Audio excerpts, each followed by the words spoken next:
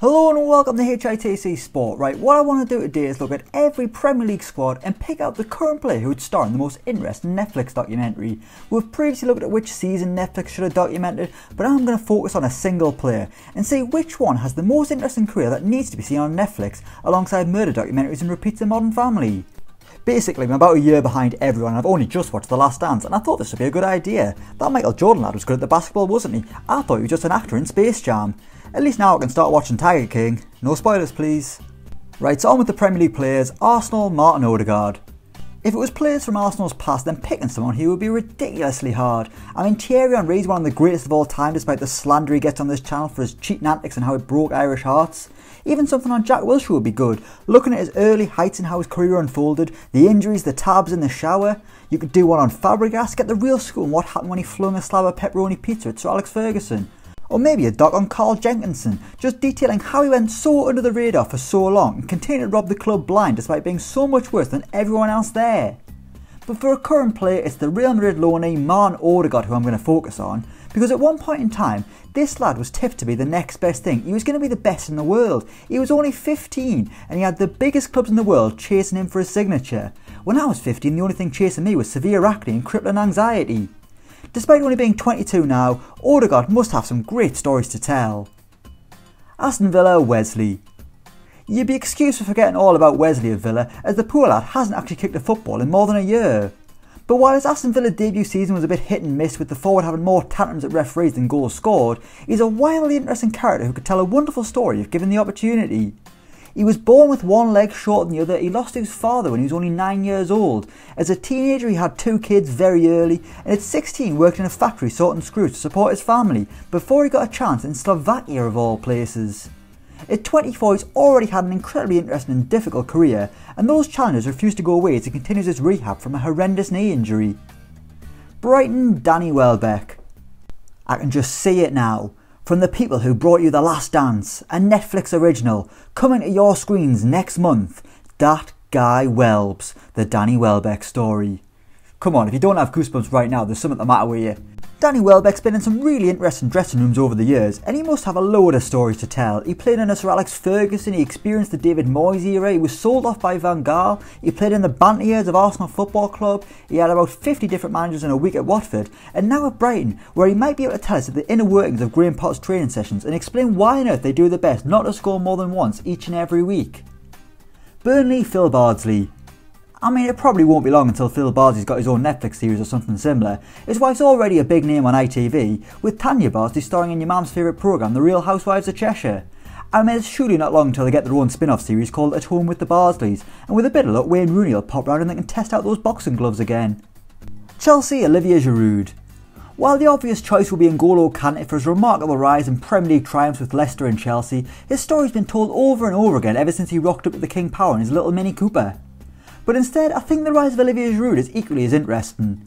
He's a player that's been written off year after year, criticised by fans, but when someone is needed to step up when the pressure is on, most managers will turn to Olivier Giroud. He's like a French version of Jamie Vardy, just without the pace and the bottles are wicked. He didn't sign a pro contract until he was 21 years old, and he didn't make his league on debut until he was nearly 24. Now he's a World Cup winner and one of France's highest ever scorers, with only Thierry Henry ahead of him. And on top of that, the bloke had a voiceover role in the French version of Spider-Man. Giroud's career is more interesting than you'd believe, and one that needs to be told on a 5.99 monthly streaming service. Crystal Palace Wilfried Zaha. It's the obvious one, but come on, you know deep down that you really want to know what happened during Wilfried Zaha's time at Man United. Was there actually any goings on with the boss's daughter, or was it just a load of bollocks in a rumour that follows him around like a bad smell? I mean, he certainly denied it, but then the next thing you know, you've got Patrice Evra mouthing off on Sky Sports. Even without any potential issue with Moyes, there's a story to be told, from his failures at Old Trafford to a comical England career, all the way to asking to leave Crystal Palace each and every month ever since he got back. Everton James Rodriguez. Basically, I just want to know what James Rodriguez has been doing ever since he swapped Real Madrid for Everton. Look, I know Liverpool's a wonderful place, I've been before, I've had great times there, but it's not quite Spain, is it? This is a guy who won a World Cup Golden Boot, and I want to see him going on days out to the estate where they film Brookside before bumping into Paul McCartney in the street and doing a duet of Hey Jude. Fulham Josh Maja.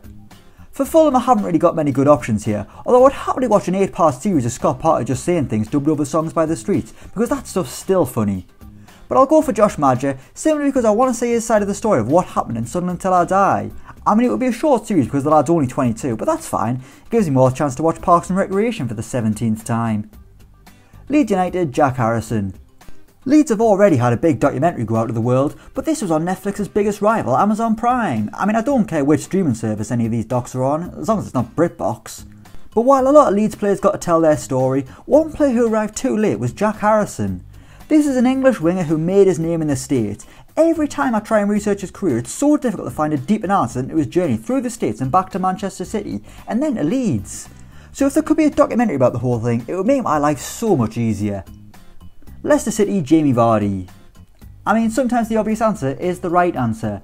Obviously, Jamie Vardy the movie's off the table for now, but sure a little documentary could be done, or we might even get an insight into how Rebecca Vardy's going to take down Colleen following their spat. Probably more interesting than watching Vardy turn up late to a non-league game, then scramble for change to pay his subs. Liverpool Mo Salah. Realistically, if someone's making a Netflix documentary about anyone at Liverpool, it's going to be about Mo Salah. The lad is an Egyptian icon. He's transcended an entire nation. So much so they got him to win a ridiculous Puskas award for one of his most average goals ever. Well, it was still quite good. It might not be the most juicy or the most scandalous, but it would certainly be wholesome, and maybe we might see how he perfects his dives at home. Manchester City, Scott Carson. I mean, Man City have already got a history with streaming services. They've had their own All or Nothing series on Amazon, while John Stones has been on Netflix for years. But I want to see a Scott Carson documentary. What's it really like being drafted in, in your late 30s to be a backup stopper at one of the best clubs in the world? Did he win a competition? Do the players take the piss out of him in the cafeteria? Does Guardiola get him to wash his car before training finishes? And what really happened when he let that goal against Croatia bobble in and cost England a place at the 2008 Euros and saw Steve McClaren get the sack and get a lifetime supply of umbrellas? Manchester United, Marcus Rashford. If not for his footballing abilities, I want to see a Netflix documentary of Marcus Rashford's incredible work off the pitch, where he finds the time to challenge the government and right the wrongs in his country in his spare time from being a Premier League footballer. I mean, most players just sit at home and play FIFA or have wild sex parties, but not Marcus Rashford. That man's got kids to feed and Tory cages to rattle. Newcastle United, Matt Ritchie. Basically, I just want to know what happened at the training ground the other week. I want to hear all about Matt Ritchie calling Steve Bruce a coward, slapping him across the head with seven rashers of bacon before putting him in the sharpshooter and chatting Ritchie's effing magic. Okay, so most of that probably isn't true. I think I just got a bit carried away with myself. Anyway, it's either got to be a documentary on Ritchie the corner flag enthusiast or a Dispatches special on Joelinton, because something seriously dodgy has to have gone on there for someone to pay £40 million for him. Sheffield United, Jack Rodwell. For similar reasons to why I picked Maja, I want to hear Jack Rodwell's side of the story to Sunderland till I die. I mean, it looked like he just downed tools and couldn't be arsed anymore, but still wanted to be paid. It'd be like me claiming my 10 a week from the big boss at HITC Towers, even though I haven't made a half decent video for over a month. That's true. Bore off. Southampton, Theo Walcott. Literally all I want to see here is Theo Walcott's camcorder footage from his excursions at the 2006 World Cup. That's literally it. I don't care about his hat-trick against Croatia, the goals he scored for Arsenal, or his emotional return to St Mary's. I just want to see what he caught on camera when he was 16 and thrust into the global spotlight at the 2006 World Cup in Germany. It would be like paranormal activity, except the only thing that would make you crap your pants is seeing John Terry head towards your missus. Tottenham Hotspur, Gareth Bale. Whether it's an hour a week or just following Gareth Bale around on a golf course, I want to go into more detail about this man's career. He's the talk of the town once again after scoring a few goals for Spurs. Even some idiots are saying he's back to his best. I mean, look at this idiot. Oh wait, that's me.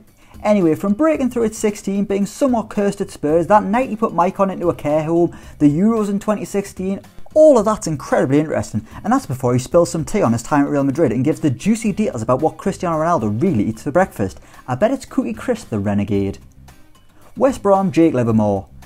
Basically, I just want to know what really happened when a bunch of West Brom players stole that taxi, and since Jake Livermore's the only one who's still there, then he'll have to do. But he's had a career with lots of ups and downs and could probably give a great insight into the perils of being a professional footballer.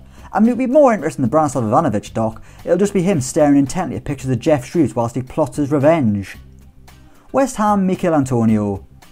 This would be the documentary you'd watch after you'd seen the Jamie Vardy one a few times and don't really want to watch the latest Adam Sandler thriller. Because Michail Antonio is another man who's had a real rise through the Football League and spent time in non-league just like Jamie Vardy. If West Ham can end this season with a top 4 finish, it will be the icing on the cake for a lovely little three-part series. Wolves, Adama Traore. this one wouldn't be a documentary as such, more of a game show. Let's just lather him in baby oil, throw him down a slip and slide, get people trying to pull him down. Maybe the winner gets a car. He can try and race Usain Bolt, lift weights with Eddie Hall. It would basically be like his own version of Total Wipeout, Clash of Ant and Dec Saturday Night Takeaway. It'd be more interesting than his Premier League career. So there we go, that's every Premier League player who I think deserves a Netflix documentary. Let me know what you think in the comments down below. As always, don't forget to like, share and subscribe to HITC Sport. And until next time, we will see you around.